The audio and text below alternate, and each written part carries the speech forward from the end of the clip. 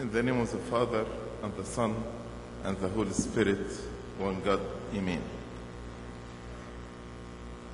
Uh, I'd like to wish all of you a blessed and happy feast of Saint Mary. May her prayers and her intercessions be with all of us.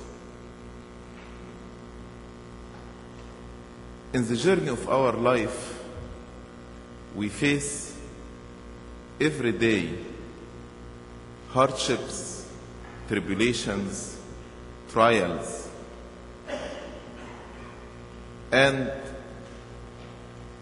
how we become conquerors and victorious in the midst of all these hardships and trials.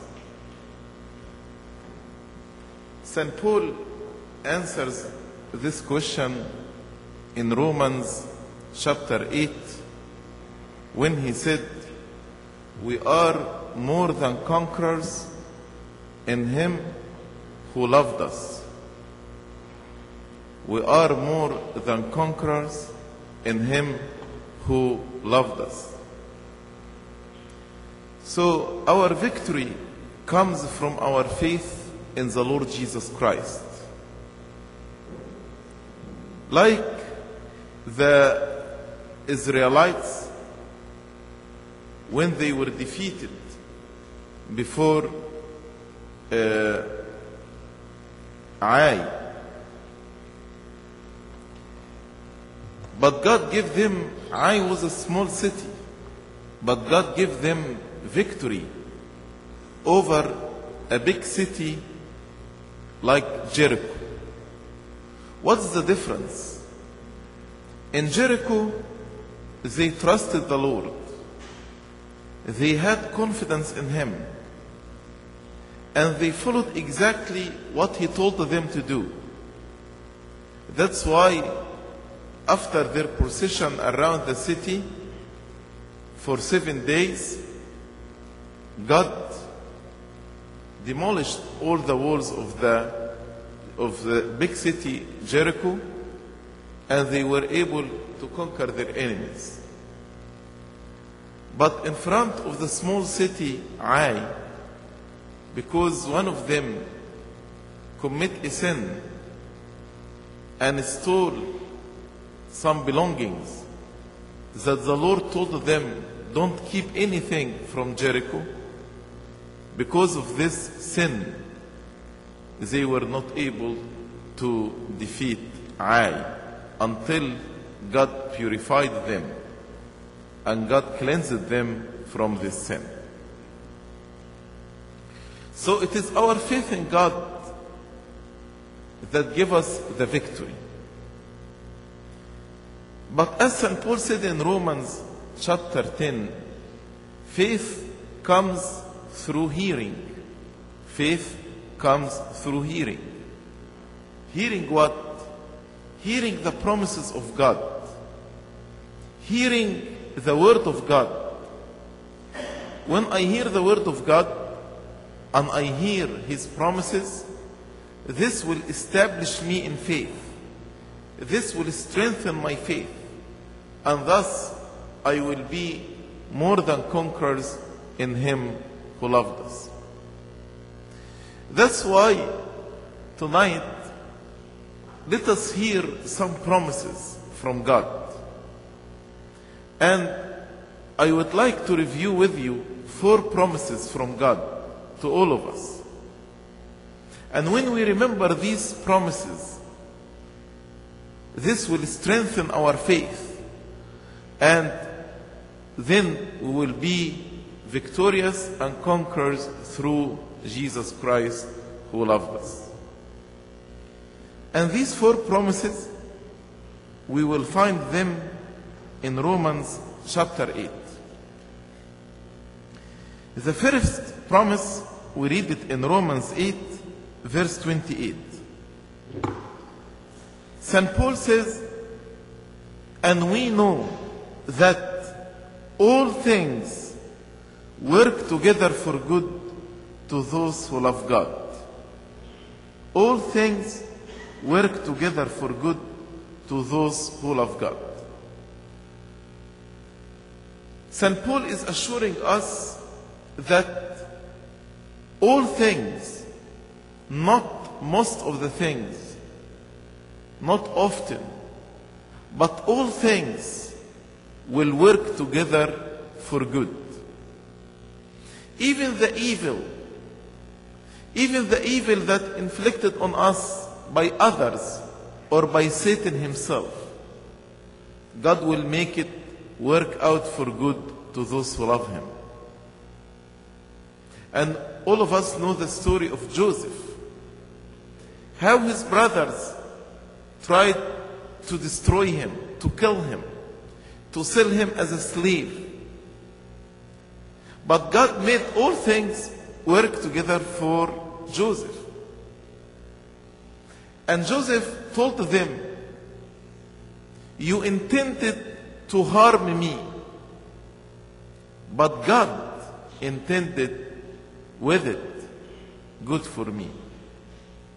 So their evil intention, God converted this evil intention into blessing and goodness for Joseph.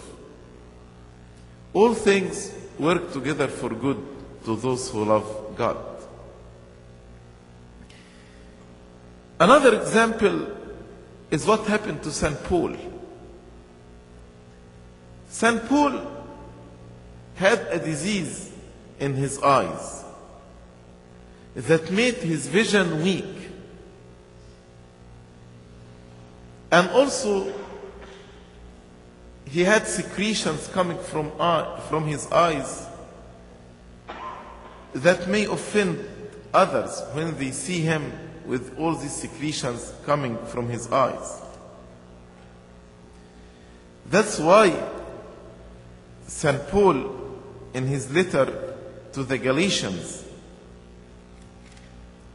he told them, even my trial in the flesh you did not despise, but as an angel from God, you accepted me. As an angel from God, you accepted me. And you wished to And my trial, which was in my, in my flesh, you did not despise or reject, but you received me as an angel of God, even as Christ Jesus. For I bear you witness that if possible, you would have plucked out your own eyes and given them to me. If it was possible, you would have plucked out your own eyes and given them to me. St. Paul also understood that this disease in his eyes was from Satan, not from God. Satan attacked St. Paul with this disease in order to hinder his service. In order to hinder his service. And St. Paul prayed and asked God to heal him from this disease. And he prayed three, three times so God may heal him from this disease. And St. Paul prayed for the benefit of the service of the ministry. Because with this disease he cannot travel alone. He had to have companions with him to help him in his travels. Also, with this disease, many people maybe get disgusted when they saw, uh, see all these secretions coming from his eyes. Another thing, St. Paul loved reading. So with this disease in his eye, he will not be able to read and to write as he wanted. So he prayed and asked God to heal him. As we read in 2 Corinthians chapter 12 verse 8, concerning this thing I pleaded with the Lord three times that it might depart from me. But to his surprise, God told him No. I will not heal you. And by the way, many times when we pray and when God answers our prayer by saying no, we think that God did not listen to our prayers or did not answer our prayers. But what I want to tell you is God can answer our prayers either by yes or by no. Because He knows the best for us. So God said to Paul, No. Although this disease came to you from Satan, as St. Paul said, the messenger of Satan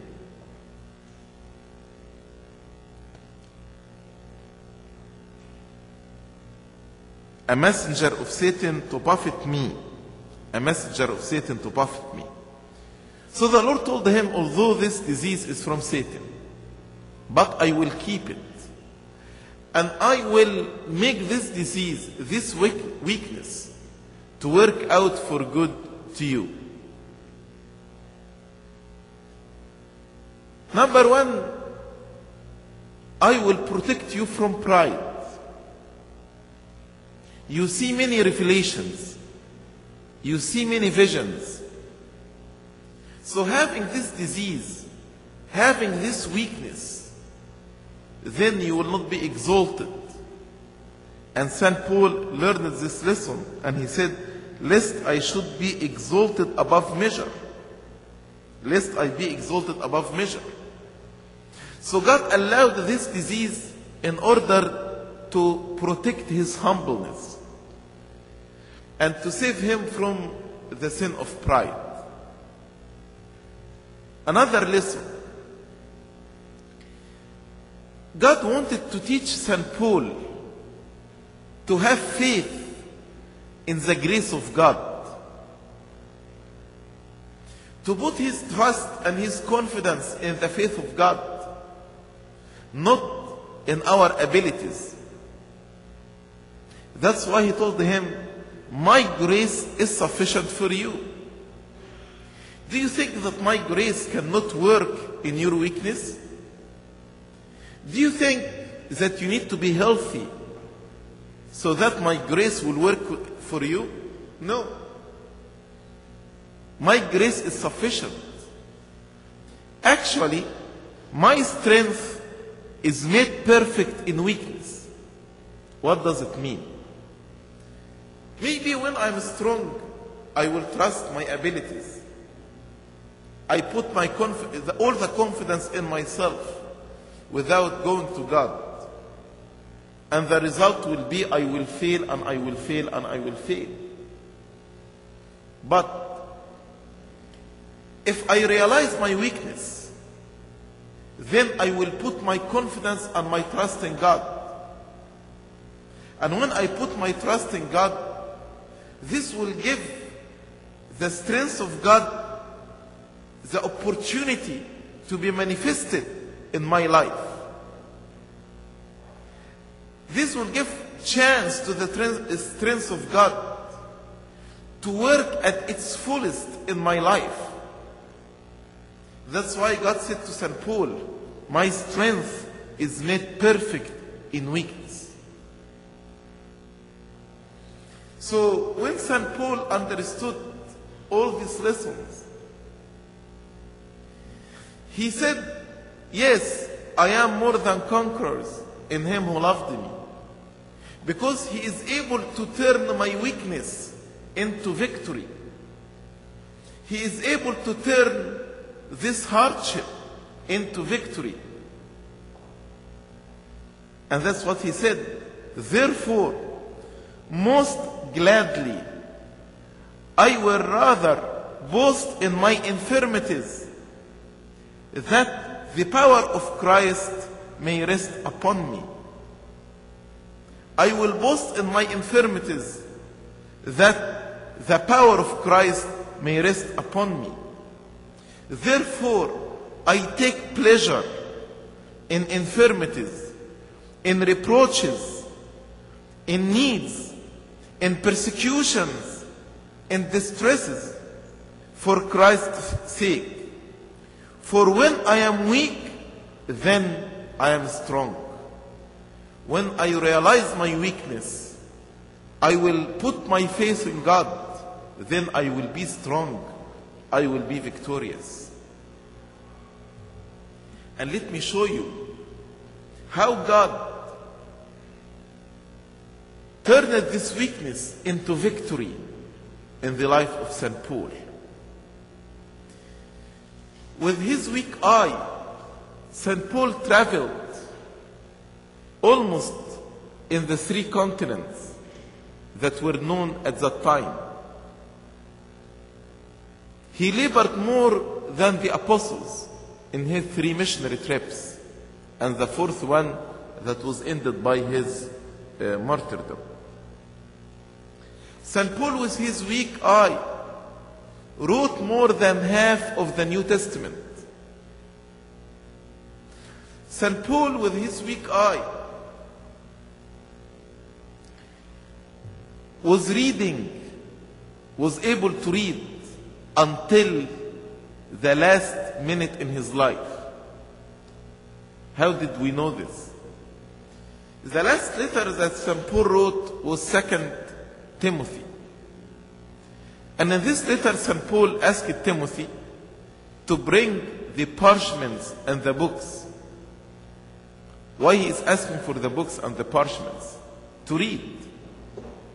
So although his vision was weak, but he was able to read, God did not deprive him from reading because God knows how much St. Paul loved reading. And it was a big concern for St. Paul, all these secretions that come from his eyes. As he said to the Galatians, My trial in the flesh you did not despise. He was concerned about this. And that, even with these secretions, we read in the book of Acts that the people took handkerchiefs from the body of St. Paul. Why? Because God gave power to these handkerchiefs to cast out demons and to heal diseases. So instead of the people getting disgusted by these secretions, actually now they want to get these handkerchiefs in order to be healed by them. Yes, indeed. All things work together for good to those who love God. Even the things that are initiated by Satan, like the thorn of the flesh of St. Paul. That's why we are more than conquerors in Him who loved us. Another promise that we need to remember in order to strengthen our faith and to be victorious through this faith that God invested in us His blood. We are purchased by His blood. Imagine if you invest all your money in a certain project, how much you will defend this project, how much you like this project to succeed. Absolutely. You invested all your money in this project. But the Lord Jesus Christ did not invest in us gold or silver or money. He invested in us His blood.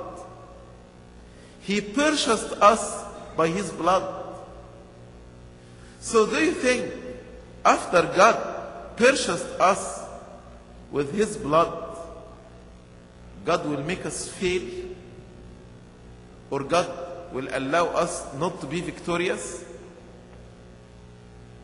That's why St. Paul said, if God is for us, who can be against us?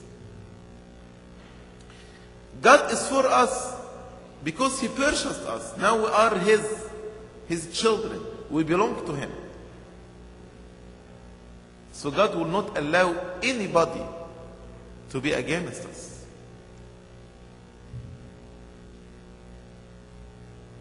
When the army of Aram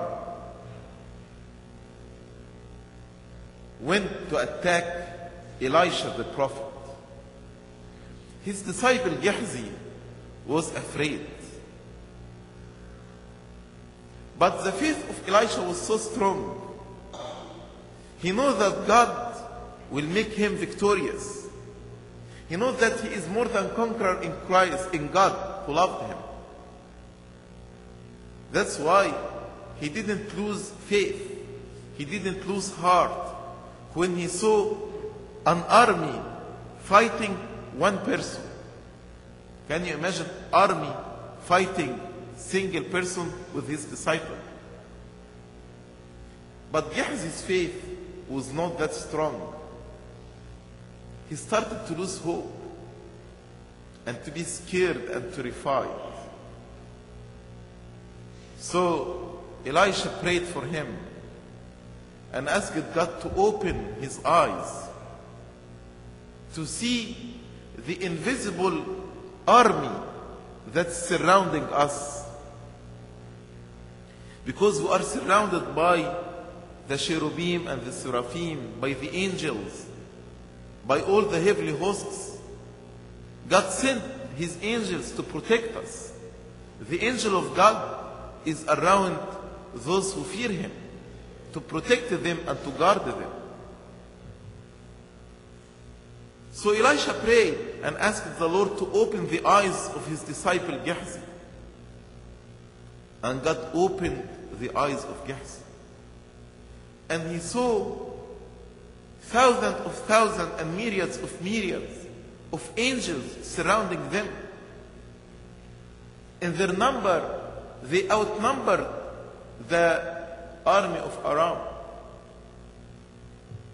So Gehazi said, Yes, indeed, those who are with us are more than those who are against us. We should not lose heart.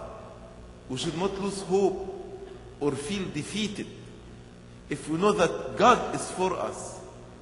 God purchased us. I like what David said to King Saul when Saul was hunting David to kill him. But David was not afraid. He didn't feel defeated. And he said to Saul, If God allowed you to kill me, then I, I will not be able to stop God. And if God if did not give you permission to kill me, you cannot kill me, regardless. And here we should know that our life is in the hand of God, not in the hands of anybody. And if God allowed some trial or some hardships to come upon us, like what happened with Job, we trust that all things work together for good because we are His. He purchased us. And if God did not give permission that we will be hurt, nobody can hurt us. Nobody can harm us. Regardless how hard they will try to hurt the children of God.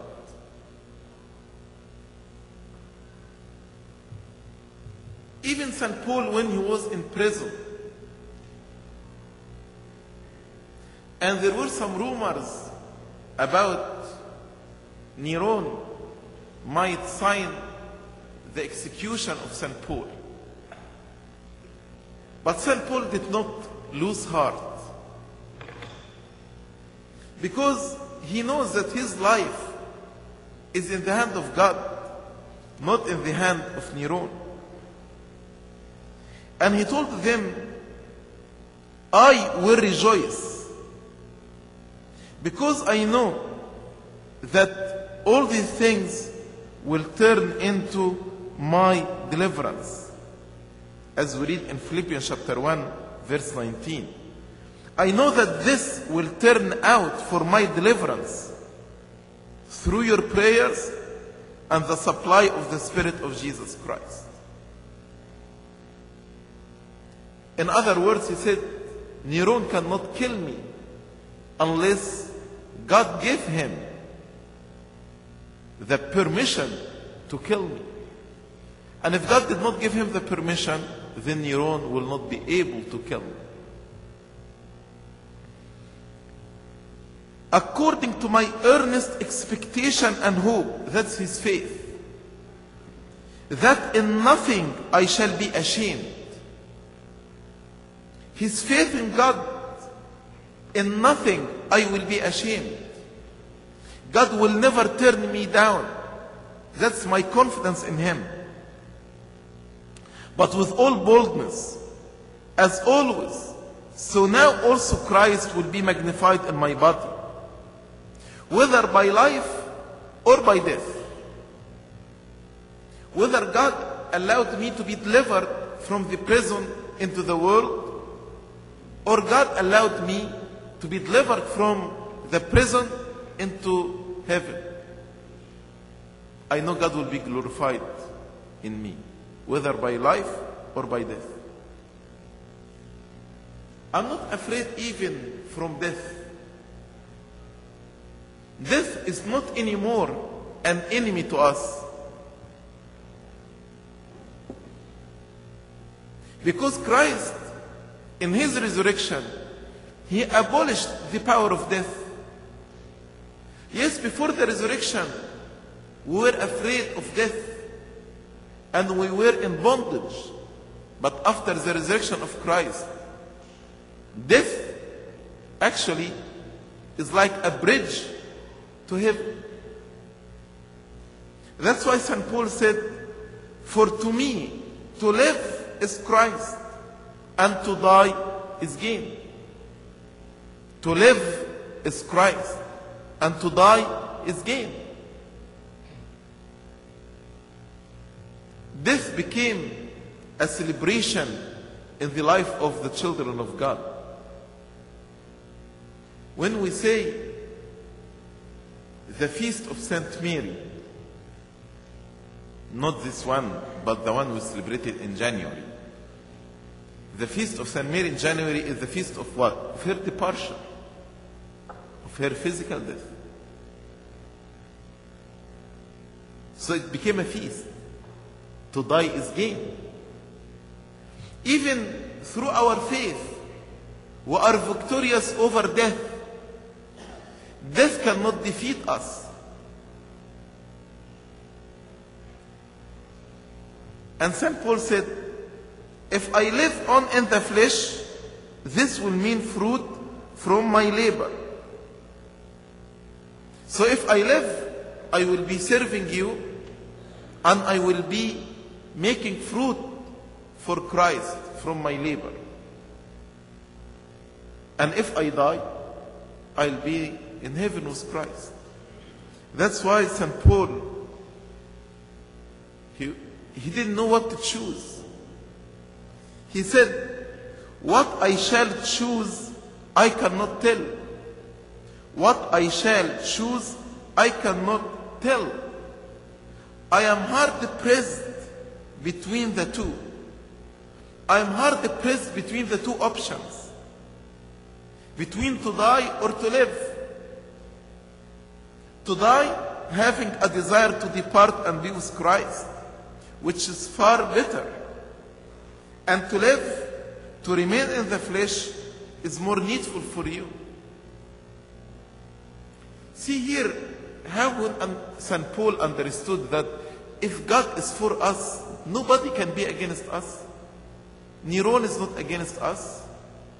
The princes of the world and the magistrates cannot hurt us. Satan cannot harm me. Because my life is in the hand of God.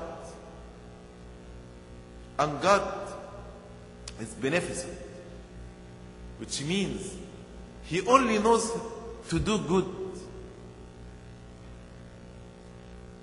That's why we are more than victorious, more than conquerors in Him who loved us.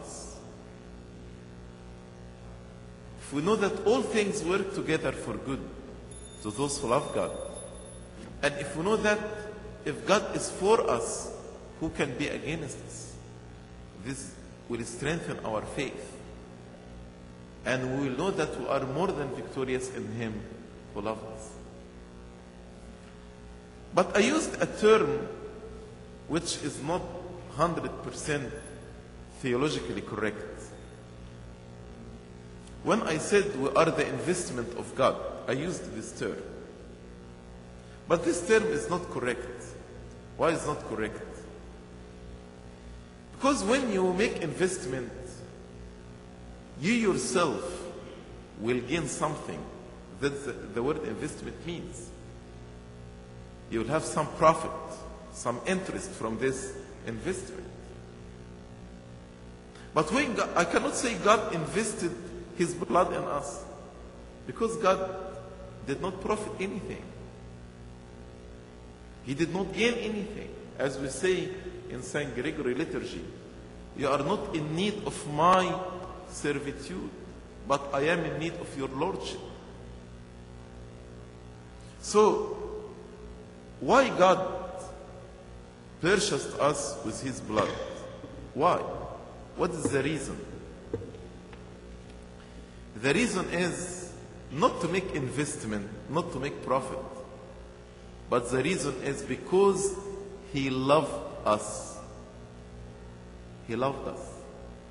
One of the church fathers said, The love of God is the nail that nailed him to the cross. It's not the Jews, it's not the betrayal of, uh, of Judas. No. It is the love of Christ. His love nailed him on the cross to save us. Do you know how much God loved us? St. Paul said,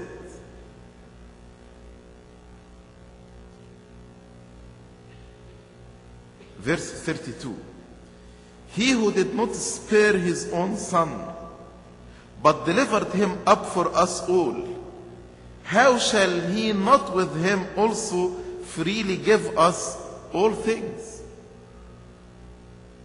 He loved us to the extent that he did not spare his own son.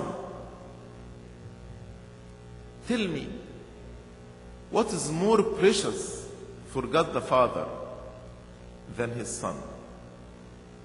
Is there anything more precious for him than his son? Absolutely not. And he did not spare his own son. To that extent, he loved me. So, if God loved me that much, he did not spare his son. Then, how shall not he, with him, also freely give us all things? If he give us his son, with his son, he will give us anything else freely. If you understand this, then we will say we are more than conquerors in him who loved us. If we believe in this, if we believe in love of God, and here St. Paul, when he spoke about this victory, he said, he said, we are more than conquerors in him who loved us. So our victory, not because we are worthy, not because we are strong, not because we are powerful, but our victory is because He loved us. And His love to us is not because we are worthy. He loved us because He is love. Because He cannot do anything other than loving us. God is love. And that's what we say His love is unconditional. It's not conditioned on whether I am worthy or not. His love to us unconditional. St. Paul says, while we were sinners, Christ died on the cross. He shed his blood for sinners, not for righteous. For people who rejected him. He prayed for them. God forgive them. Father forgive them. So, in this love, in this love, we are victorious.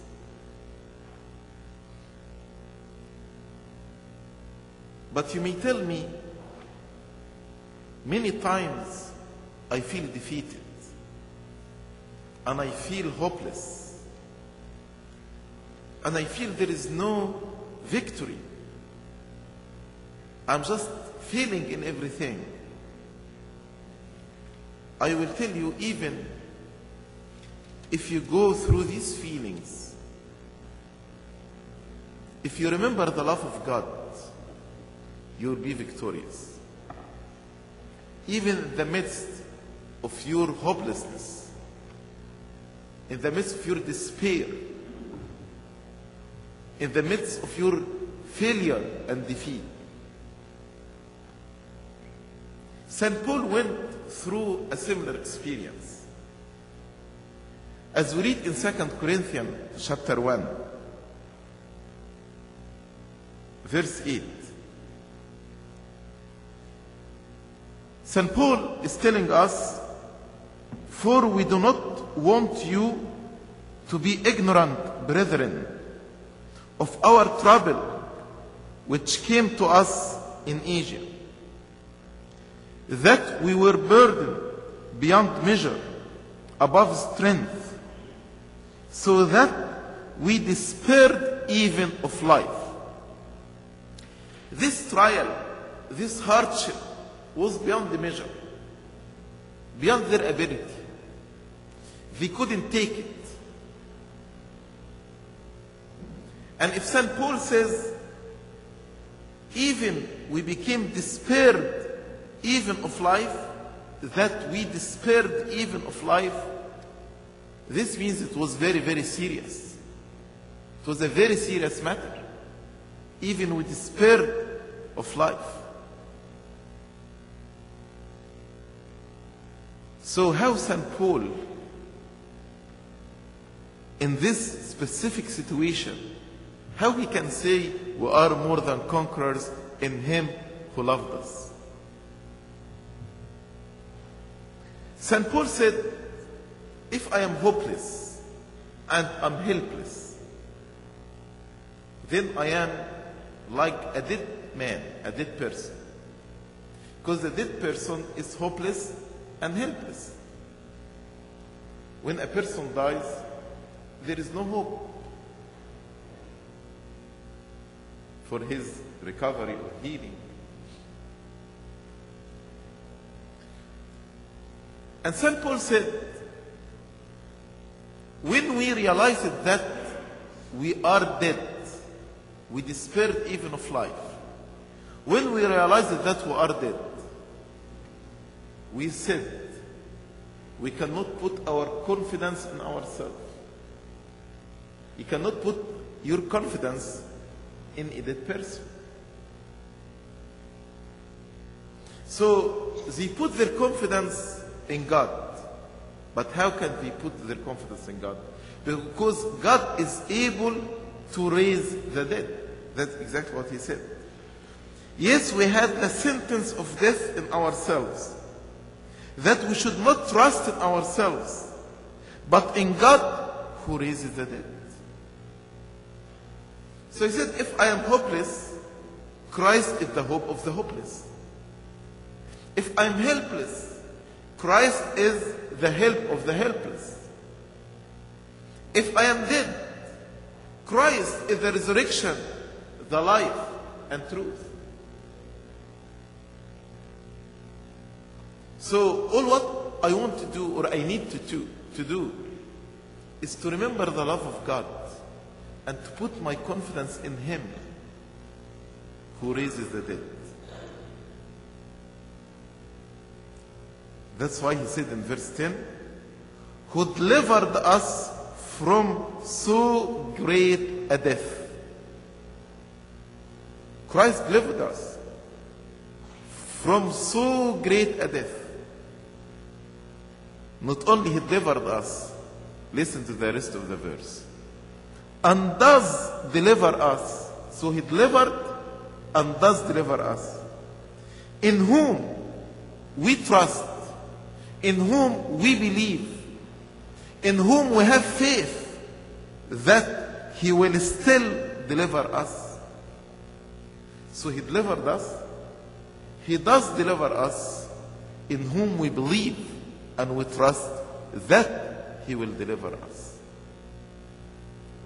This is the faith that we need to make us victorious and more than conquerors in him who loved us. To know that Christ did not spare his own son because he loved me. And if he loved me, even if I am dead, he can deliver me from so great a death. He can deliver me from so great a death, as St. Paul said. And this was the weakness of Mary and Martha. Mary and Martha trusted that the Lord can heal Lazarus. But if Lazarus is dead, then they are defeated. There is no hope. That's why when Christ came to visit Mary and Martha, both of them told him, If you were here, our brother wouldn't die. As if your ability is only to heal the sick. But if our brother dies, then you cannot do anything. So the Lord told her, If you believe, you will see the glory of God. Your brother will rise again. So she told him, Yes, yes, I know. He will rise again the last day. But Jesus told her, No, I'm not speaking about the last day. I am the resurrection. I am the truth. I am the life. He who believes in me, even if he dies, he will live. But Martha couldn't comprehend what the Lord was saying. So the Lord told her, Show me when you buried him. And he went with Mary and Martha. They thought that he's going just to cry, and that's it, or to say a prayer on the tomb. But to their surprise, the Lord instructed them to remove the stone. And Martha went to the Lord as if she is telling him, Don't you understand? He is dead. If you were here, if you were here, yes, my brother wouldn't die. But now he is dead. He is dead for four days. There's a stench. So the Lord told her, Martha, didn't I tell you if you believe you will see the glory of God? Where is your faith? Where is your faith in the resurrection? And then after he prayed, he called Lazarus. Lazarus, come out. And everybody was surprised when they saw Lazarus coming from the tomb. This is our Lord who is able to raise from the dead. That's why we don't feel even defeated by death. Because our God, who loved us, is able to raise from the dead. That's why death is not an enemy. Death is gain for the children of God.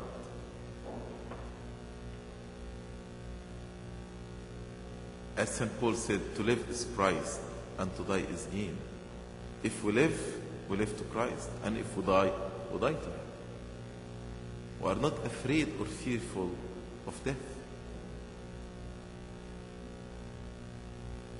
So we are more conquerors than him who loved us because he makes all things work together for good to those who love him. Because if God is for us, who can be against us? And also because God loved us to the extent that he did not spare his own son, but he gave him on the cross.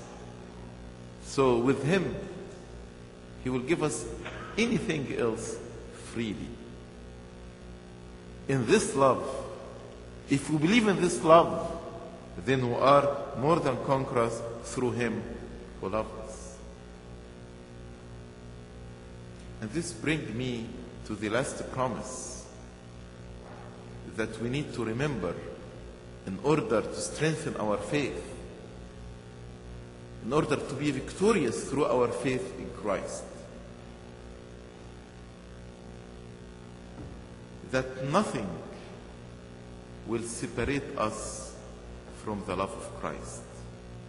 In other words, nothing will make Christ stop to love me. Nothing will make Christ cease to love me. Nothing. As St. Paul said, Who shall separate us from the love of Christ?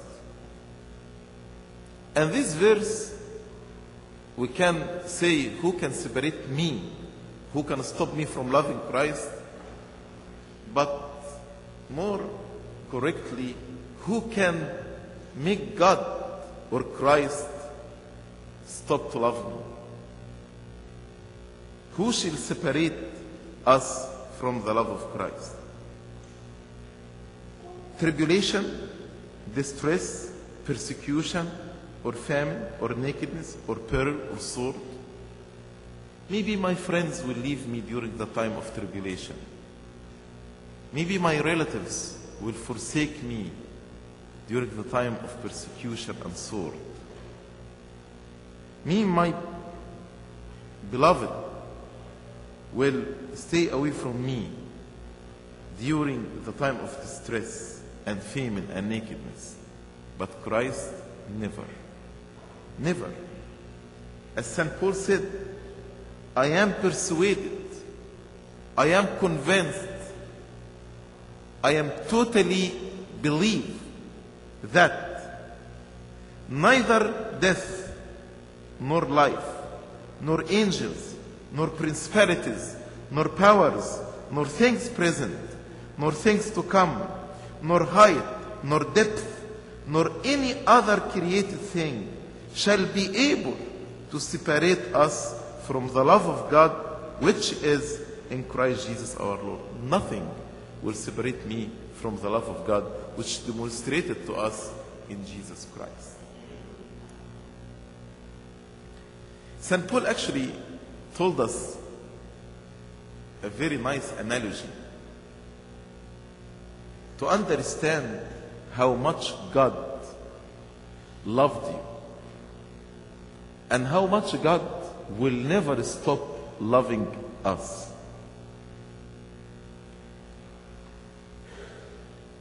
Here is the analogy. If I committed a crime and all the evidences are against me and I was arrested while I am doing this crime, and the prosecutor is a very harsh person and he hates me and he wants to destroy me completely. The judge is a very just one. He's a just judge, very fair, cannot bribe him, cannot twist his rulings or his judgment. So, in this scenario, what are the chances for this criminal to get out of this uh, trial? Zero percent. He was arrested while he is committing the crime, all the evidence against him. The prosecutor is very harsh one. He hates him. He wants to destroy him. And the judge is very fair.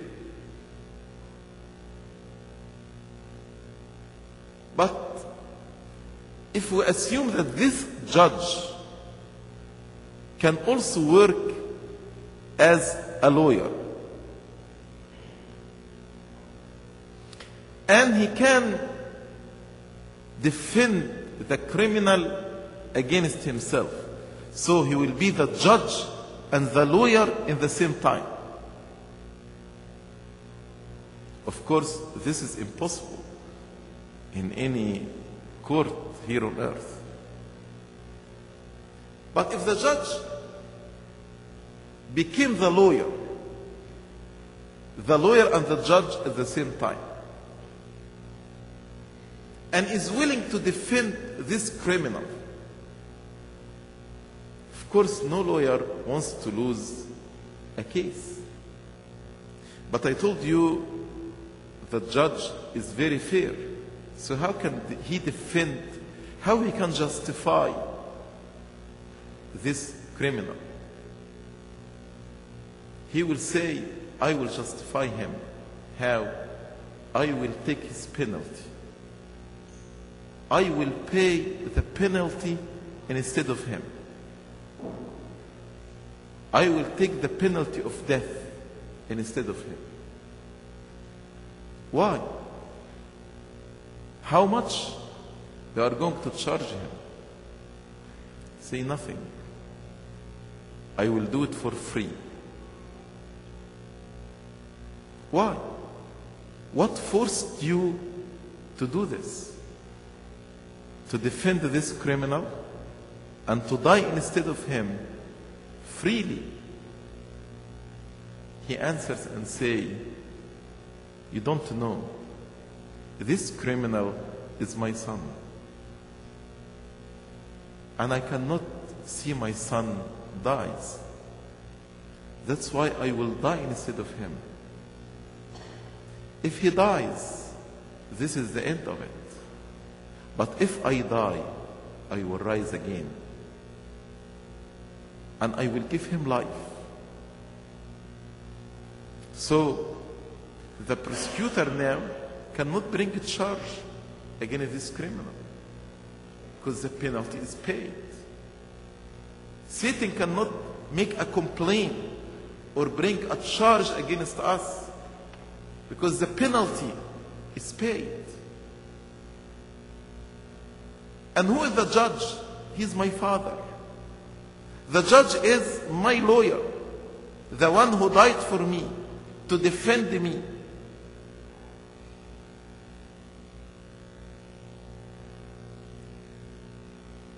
And what he is expecting from me, as I told you, it's free, but he is expecting me to live for him. To live in gratefulness and in appreciation for what he did for me. He expects for me to take my case to him, to tell him, please defend me in this case. Because he will not force me to accept this justification. I have to come to him and tell him, defend me. And I will live my life in gratefulness and in appreciation for what you did for me. So it is no longer I who live, but Christ lives in me. This is exactly what St. Paul said when he said in verse uh, 33 Who shall bring a charge against God's elect? Who shall dare to bring a charge? Do you think Satan will dare to bring a charge against the people of God, the children of God? St. Paul answers this question it is God who justifies. It is God. We are His elect, we are His children. And He is the judge. So, Satan cannot complain against the children of God before the judge. Why? Because he who condemns, it is Christ who died, who paid the penalty. and furthermore is also risen to give us life, who is even at the right hand of God, doing what? Who also makes intercession for us, defending me as a lawyer, makes intercession for us. That's why he concluded this by saying, Who shall separate us from the love of Christ? I am persuaded that neither death nor life, nor angels, nor principalities, nor powers, nor things present, nor things to come, nor height, nor depth, nor any other created thing shall be able to separate us from the love of God which is in Christ Jesus our Lord. That's why in verse 37 he said, Yet in all these things, in all these hardships, in all these tribulations, in all these uh, trials, in all, in all, not in most of them, not in 90% of them, in all these things, we are more than conquerors through him who loved us.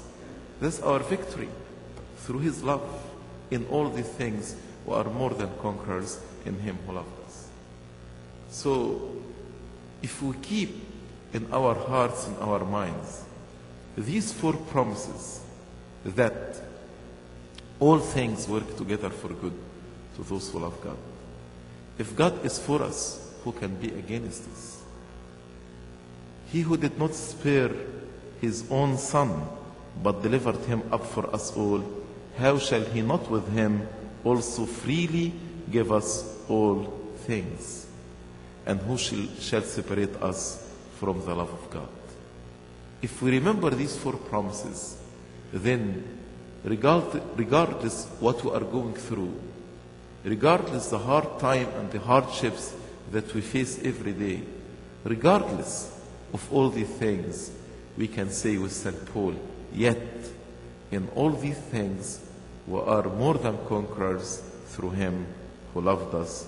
Glory be to God forever and ever. Amen.